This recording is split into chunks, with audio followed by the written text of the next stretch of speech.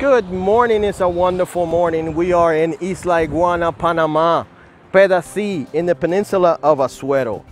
We are here presenting to you what is gonna be one of the best explorations that you will have in your life. And it'll be the first one because if you follow us, you'll be able to see a lot more than just one.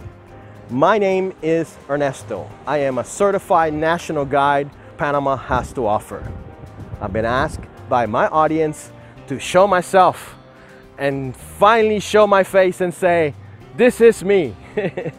Why they want to see me, I don't know.